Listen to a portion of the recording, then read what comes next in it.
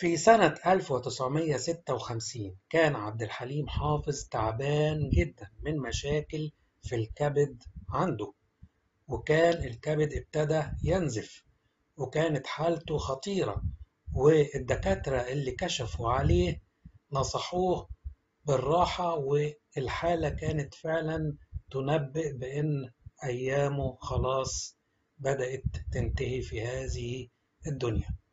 المهم في ليلة ظهرت له سيدة نورانية وبدأت تقرب له وتمرر إيديها على الكبد بتاعه وقالت له أنت خلاص خفيت. فهو قال لها أنت مين؟ أنا لازم أعرف أنت مين. فهي قبل ما تمشي قالت له أنا سنتريز المهم عدت الليلة وتاني يوم الدكتور جاله يكشف عليه وعمل له أشعات تانية. ولكن الدكتور استغرب جدا لأن النتائج بتاعة الأشعات الجديدة كانت تختلف اختلاف كلي عن الأشعات الأولانية لدرجة إن الدكتور قال له غالبا أنا كنت غلطان امبارح لأني أنا كنت شايف مشاكل كتيرة عندك. في أحد فصوص الكبد. ودلوقتي أنا مش شايف حاجة. ولاعتراف عبد الحليم حافظ بجميل سنتريز عليه في شفائه وتقديرا لمعجزتها معاه أهدى رخامة سنة 1957 لكنيستها بيشكرها على عاملها معاه على اللي عملته معاه. وكمان بنى سور كنيستها على حسابه. والعجيب بقى إن ربنا مد في عمره بعد هذه المعجزة لمدة عشرين سنة. وكمان كانت اللي شهدت عن المعجزة ديت دكتورة هدى زكريا ودي سيدة مسلمة روت في برنامج معجزة سانتريز مع عبد الحليم وبتقول كانت النسبة حوالي 80% من تليف الكبد.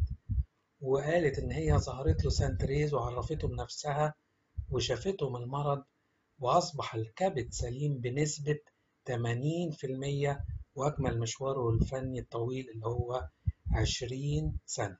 واللي يروح لكنيسة سانتريز بشبرا هيجد الرخام المكتوب عليه مع شكري العميق عبد الحليم حافظ. وكمان كان في حكاية دبوس العذراء مريم. فكثير من المواقع والجرائد الموثوق بها كتبت الموضوع ده هو وأعلنت جمعية تخليد ذكراه إنها عثرت على دبوس صغير عليه صورة العذراء مريم متعلق في ملابسه لم تكتشفه أسرته. وحسب رواية عبد العليم عون رئيس الجمعية وده رجل مسلم إن الدبوس ده هو حصل عليه عبد الحليم حافظ من سيدة عربية بعد الحفل اللي أحياه في قاعة ألبرت هول بلندن عقب 1967 لما قدم أغنية المسيح اللي كتبها الشاعر الكبير عبد الرحمن الأبنودي.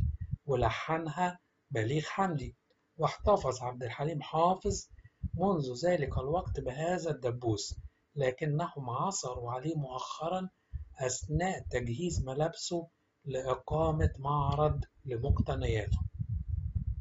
والمفاجأة لما قال عبد العليم عون إنهم عثروا على الدبوس موضوع خلف يائة إحدى البدل والتي كان يرتديها وبشكل يصعب اكتشافه بسهولة ولهذا السبب لم يلفت الدبوس نظر أسرته.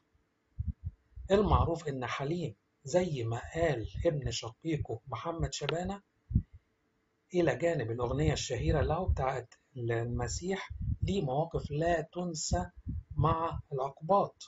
قبل تقديم أغنية المسيح ويتذكر محمد شبانة نقلا عن والده أن حليم أقام على حسابه سور كنيسة سان تريز بشبرا بعدما حضر إليه وفد من الكنيسة لزيارته أثناء مرضه عام 56 ونقلوا له تضررهم من تهدم سرعة وبعد شفائه من المرض بالطريقة المعجزية اللي شفناها في الأول قرر بناء السور وكتب وقتها لوحة لغاية دلوقتي موجودة مكتوب عليها لروح القديسة الطاهرة تريزا مع شكري العميق.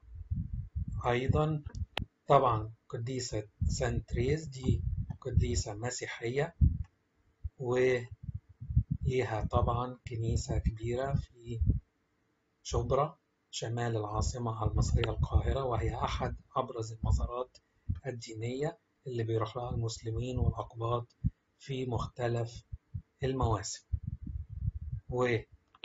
وهتلاقي أول ما تخش الكنيسة كتير من اللوحات بأسماء بارزة من فنانين ومثقفين ومواطنين عاديين وكاتبين شكر وندور للقديسة سانتريز وعبد الحليم حافظ كتب لوحة رخامية ثلاث نزور وفى بها وزيلها برسائل للقديسة المحببة لقلوب المصريين. وكتب اللي هي في اللوحة الأولى شكرا لأمنا الحبيبة تريزا. وكتب في الثانية باركيني أيتها الأم الطاهرة وتضم اللوحة الثالثة رجاء حارا. ويبدو أنها كتبت في الأيام الأخيرة للمطرب الراحل بعد أن اشتد عليه آلام المرض بيقول فيها كوني بجوار أيتها القديسة الطاهرة عبد الحليم حافظ سبتمبر 1976 ويقول راعي كنيسة سانتريز الأنبا أغاثون كان الفنان عبد الحليم حافظ دائم التردد على الكنيسة للتبرك بالقديسة الطاهرة وكان يكن تقديرا خاصا لها حتى أنه كان يأتي مرة أو مرتين في الشهر بعد كل أزمة صحية ليقدم الشكر.